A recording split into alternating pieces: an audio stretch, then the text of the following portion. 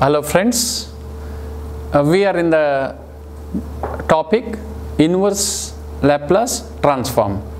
In the last class, I have given you some formulas relating to inverse Laplace transform. Now, and some examples also I have given. So, some more example for your convenient I am going to discussing now here.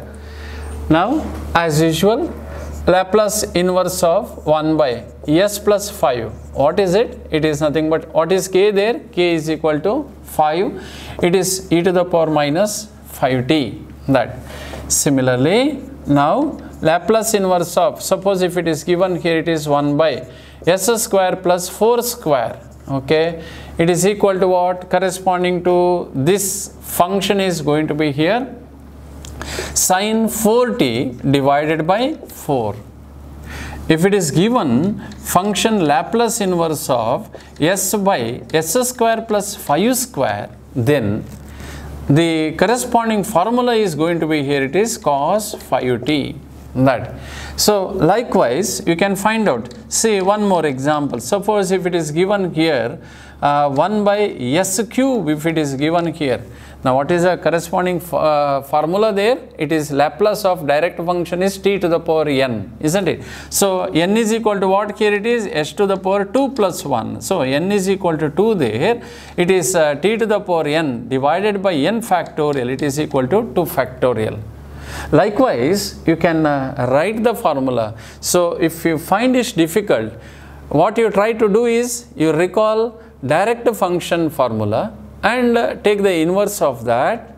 Recall it yourself and try to write the answer corresponding to that. Here it is. Okay? So uh, this is what the uh, introduction as well as the formula collection uh, corresponding to Laplace trans inverse transformation. Now one more property you have studied uh, in the Laplace transform, the same property also you are going to study that. This is what uh, one simple property corresponding to while solving the problem we are using that here. That is Laplace inverse of that C1 into F1 of S plus C2 into F2 of S, it is equal to you can take that C1 outside, Laplace inverse of F1 of S, that function is given in terms of S there, plus uh, C2 into Laplace inverse of F2 of S, right.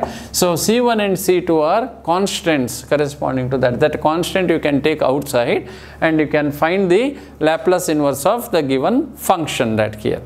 Now, so using that we will solve problem later here. Now before that a small theorem we are going to study that here it is. Okay, let me write here, wait. Yes, what is the statement corresponding to that uh, theorem is going to be here. The uh, say properties or theorem says that Laplace inverse of f of s minus a it is equal to here right? We can write it as e to the power at into Laplace inverse of f of s. That it says that here we can uh, write like this. Here it is. Nothing but here. Laplace inverse of f of s minus a is equal to e to the power at this function into Laplace inverse of f of s. Now this has got also a proof corresponding to that. Here it is. So we can prove it. In general we can also prove it. Here it is. That. So very simple proof. You know that. We have f of s is equal to Laplace of the given function f of t isn't it that is what the idea you have now here. Now which is equal to what? According to the definition of Laplace e to the power minus at into f of t dt that we can write like this here. Now uh, according to that property here see s becomes what here? S becomes s minus a right? So naturally this is i have to reduce it as s minus a so what you have to do you have to make a substitution there put s is equal to s minus a now corresponding to that s minus a So I'm uh, writing both it as uh, s itself, small s itself. Don't confuse it. Here it is. So uh, one and the same it is here. So while writing that it becomes s minus a. Now here I'm applying 0 to infinity e power minus s minus a into t into f of t dt. That is equal to here. Just a change I have done. The term I have uh, replaced that here it is okay right? It's not substitution method here. The term I have replaced it here. So corresponding to that 0 to infinity minus st into minus of that here it is. See it becomes plus here. Okay plus at into f of t dt or we can write it as 0 to infinity e to the power e to the power at that into e power minus st into you can split like this. Here it is dt. Further, further you may write like this as e to the power at into that. Observe that here. I may write this term. I will collect this term as st into f of t dt that. But what is this becomes? Here it is. That is equal to e to the power at. This we can write it as Laplace of the given function, it is f of s, isn't it? So therefore, that here it is, right? See here, that is left side is what? f of s minus a is equal to, we have got this here.